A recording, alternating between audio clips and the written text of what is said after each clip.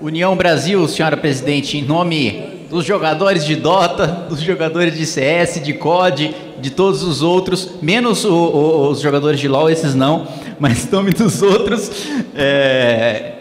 orienta sim para que a gente possa desenvolver a nossa indústria ainda mais, desenvolver, fazer com que os nossos jovens tenham acesso ao ensino de programação, ao ensino de robótica e que também a gente consiga gerar mais emprego, renda, ascensão social e contribuir com a nossa saúde pública também, que utiliza muitos games também para recuperação de diversos pacientes e reintegração desses pacientes, inclusive com deficiências físicas na sociedade. Eu fiz questão de voltar ao plenário para avalizar todo o depoimento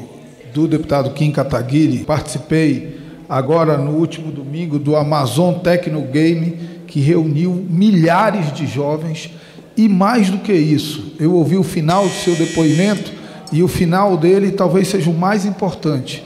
É uma realidade que tem mudado a vida de muitos jovens, de muitos adolescentes e de muitas famílias. O Amazonas colocou no ano passado na elite nacional do Free Fire um time, nós conseguimos ajudar patrocínios da Coca-Cola, ou seja, são grandes multinacionais, crianças, adolescentes que eram criticadas pelos pais por passar muito tempo jogando videogame passaram a ser os arrimos de família, passaram a sustentar as suas famílias, passaram a contribuir com a renda de casa. Então, parabéns pela iniciativa, deputado Kim. Sou um gamer,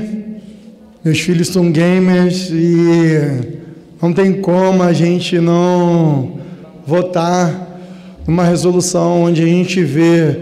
que a minha infância foi construída e eu aprendi inglês jogando videogame, mas é, a vida de gamer no nosso país é, é, muito difícil, principalmente pelas taxas que a gente recebe aqui para a tecnologia, para os jogos, que são altíssimas, e a gente precisa realmente dar uma olhada diferente sobre isso. Recentemente foi realizado o maior estudo no mundo sobre inteligência e foi comprovado que realmente os games melhoram a inteligência das pessoas. Então, essas pessoas que têm esse desenvolvimento, elas têm a probabilidade de viver mais, ter mais condições, de uma qualidade de vida melhor e outra coisa, ter mais chance de emprego, mais chance do mundo do trabalho, então, os games são importantes e hoje em dia né, eles são aplicados na escola para o desenvolvimento dessas crianças. Portanto, o PTB orienta sim, muito meritório esse projeto, muito importante,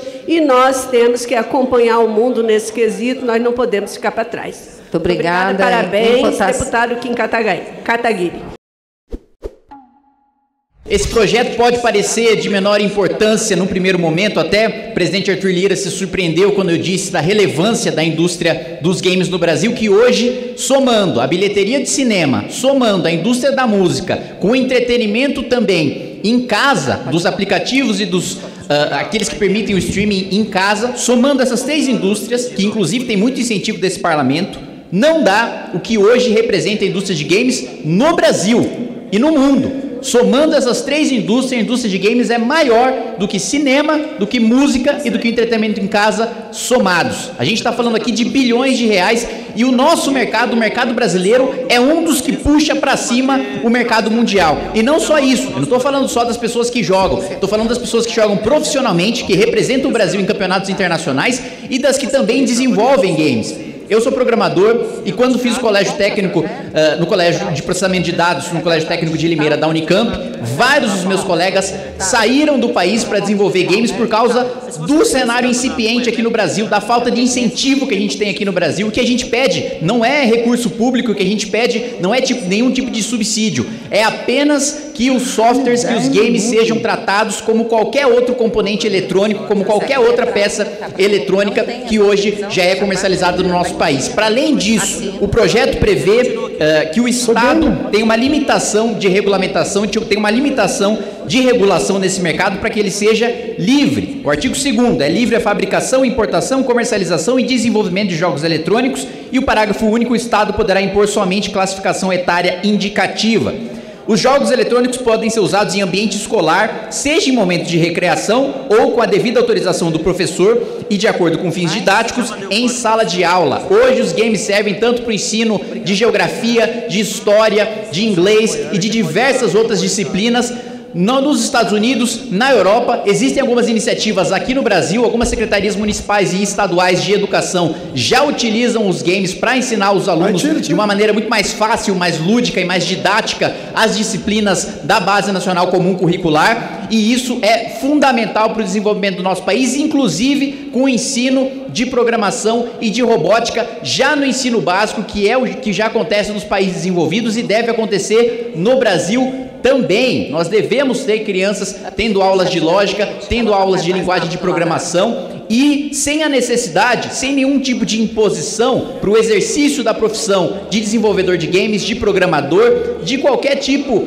de diploma, de qualquer tipo de currículo que o sujeito possa, já saindo do ensino básico, já saindo do ensino médio, exercer essa profissão, caso ele decida, caso ele tenha talento para isso. Então a gente está falando de geração de emprego e de renda, a gente está falando de melhoria na educação, na educação básica, no ensino médio e também para a saúde. Né? Prevê o artigo 4 que os jogos eletrônicos podem ser utilizados para fins terapêuticos. Hoje, nos hospitais que prestam serviços para o SUS, você já tem o uso de jogos eletrônicos para recuperação daqueles que têm deficiência física, daqueles que têm deficiência cognitiva e isso tem ajudado muito crianças e adultos a se recuperarem, a ter uma melhor qualidade de vida e a poder se reintegrarem na sociedade a partir uh, do, do, do, dos games e do uso desses games para suprir essas deficiências e essas necessidades. Hoje, o Brasil já gera centenas de milhares de empregos diretos e indiretos relacionados a essa indústria e a gente não ter um mercado aberto, a gente não ter segurança jurídica, tanto para o desenvolvimento de games, como para aqueles que exercem atividade profissionalmente representando o Brasil na América Latina e no resto do mundo, é um atraso. Né? Então, não só o tratamento isonômico na tributação, para que a gente largue aquela herança antiga de ver jogos eletrônicos como se fossem jogos de azar, como se fosse um caça-níquel, quando na realidade hoje é uma atividade esportiva, hoje é uma atividade que gera emprego e que gera renda e que cada vez mais, para você ter uma noção, Hoje, neste exato momento, são 2 bilhões e 700 milhões de pessoas que jogam no mundo inteiro. E a perspectiva é que no ano de 2023 esse número alcance uh, mais de 3 bilhões e 400 milhões de pessoas, ou seja, uma boa parte da população mundial e proporcionalmente muito mais no Brasil. Você teve um aumento gigantesco no Brasil dos usuários, dos jogadores casuais e dos jogadores profissionais durante o período da pandemia. Isso ajuda no combate, inclusive, a problemas como a depressão, como a ansiedade, que hoje ah, são a, afetam de grande maneira os jovens, os adolescentes brasileiros que tiveram uma dificuldade muito grande de enfrentar esse período e que muitas vezes os jogos eletrônicos ajudaram a fazer essa fase de superação. Inclusive, sei que tem alguns colegas parlamentares aqui nessa casa que jogam, que jogam Counter-Strike, que, que eu, jogam COD. O deputado Davi Miranda também é um jogador assíduo. De cara. Outro, outro, outros jogadores. É, eu pessoalmente jogo Dota, COD, Counter-Strike, outros games, Mir 4, né? Acho que para todos os jogos você tem que ter um desenvolvimento livre, com exceção do, do me perdoem a piada, mas com exceção do LoL que tem que ser criminalizado mas de todos, o Davi Miranda ficou revoltado ali, mas de todos os outros games que devem ser desenvolvidos livremente aqui Deixa no nosso país e que a gente precisa ter incentivo, a gente precisa ter essa segurança jurídica e ter esse tratamento isonômico para que cada vez mais haja esse desenvolvimento que não seja mais confundido, como muitas vezes, infelizmente, eu já vi na Assembleia Legislativa do Estado de São Paulo, eu já vi em redes de televisão, gente associando videogame com violência, né? Como se o sujeito fosse matar alguém ou cometer um ato de violência porque joga um jogo de guerra no videogame, né? Eu, pessoalmente, já joguei muito Super Mario na minha vida e nunca saí dando cabeçada em tijolo ou pisando em tartaruga, né? É, é um absurdo você querer associar né, videogame com violência, videogame com, com práticas, é, é, é com, com Uh, uh, deficiências, muitas vezes psicológicas, que levam o sujeito a cometer um atentado ou qualquer coisa do tipo, tem nenhuma relação com isso. Você tem milhões de jogadores na, no absoluta gozo de suas faculdades mentais e que não tem nenhuma relação com violência, não tem nenhuma relação também, muitas vezes, tentam colocar uma questão religiosa, que seria contra a religião, que seria uma coisa é, é, é, que atentaria contra a liberdade religiosa, também nenhuma relação com isso. Isso é um preconceito absolutamente absurdo de quem não tem a noção do que significa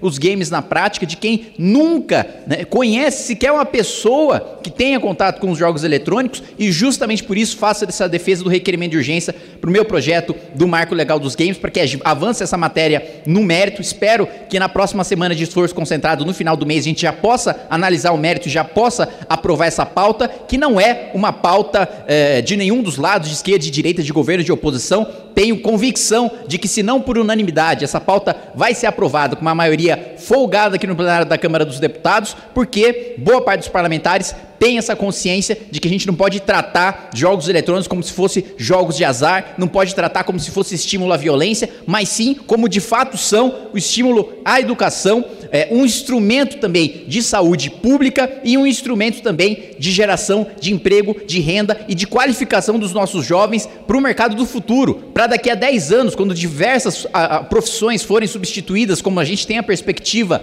é, pelo uh, pela automação, pela inteligência artificial, a gente tenha jovens, crianças capazes de programar, capazes de desenvolver games, artes, talento que muitas vezes nas periferias a gente encontra, tem um, é, vários projetos que trabalham em comunidades carentes e que incentivam os jovens que nem têm a noção de que um talento dele para design, de que um talento dele é, em lógica de programação pode fazer com que ele seja um instrumento de mobilidade social para toda a sua família. Mude a realidade da sua família, mude a realidade da sua comunidade, desenvolvendo games, desenvolvendo artes para games. E o Brasil hoje ocupa uma posição de protagonismo no mercado mundial, mas boa parte dos nossos desenvolvedores escolhem sair do Brasil justamente pelo cenário incipiente que a gente tem aqui eh, de desenvolvimento, contra o desenvolvimento dos games, contra eh, a profissionalização desse setor. Então ainda é tratado como uma coisa menor, ainda é tratado como uma brincadeira, mas na prática a gente está falando de gente que está mudando a realidade das suas famílias, que está mudando a realidade da sua comunidade, ascendendo socialmente graças a essa indústria. Então peço ao plenário para que a gente consiga aprovar até simbolicamente essa matéria, porque é uma matéria de relevância para todo o país. Como eu disse, esse parlamento já votou várias leis de incentivo, que nem é isso que a gente pede para a indústria de games. A gente só quer que tenha segurança jurídica e tratamento isonômico. Uh, mas esse parlamento já votou vários incentivos à cultura, vários incentivos ao cinema, e hoje, sem incentivo nenhum, pelo contrário, com os obstáculos colocados pelo governo, a gente ainda tem uma indústria que, somando o cinema, somando a música e que somando o entretenimento em casa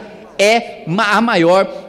do nosso país, perdendo apenas para a televisão. É isso, senhor presidente. Agradeço o apoio dos colegas. Em votação, os senhores deputados e as senhoras deputadas que aprovam o requerimento permaneçam como se encontram. Aprovado. Parabéns, deputado Kim Kataguiri.